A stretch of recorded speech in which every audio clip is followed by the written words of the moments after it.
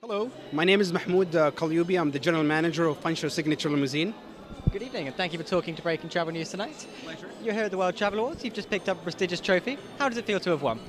Um, to start with, uh, you know, allow me to thank the organizers here today, and uh, thank you yourself uh, for giving us the opportunity of being in, uh, in such a platform and uh, in such an event uh, where you know people who really work hard and you know try their best, they achieve something. And this is, you know, as far as I'm concerned, the payoff for you know.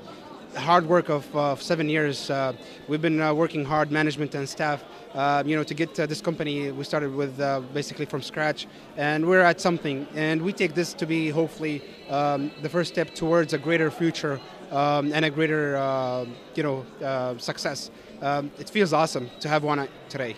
Yeah. And the UAE in general, very fast developing, fast uh, changing tourism market. Do you think this trophy and title will help you get your message out to, to more guests and travelers here in the region? Uh, I tend to uh, to fully agree with your statement here because we are in a city that uh, is on the verge of development on a daily basis. Every day there's a new project. Every every day there's a new change uh, for for the betterment.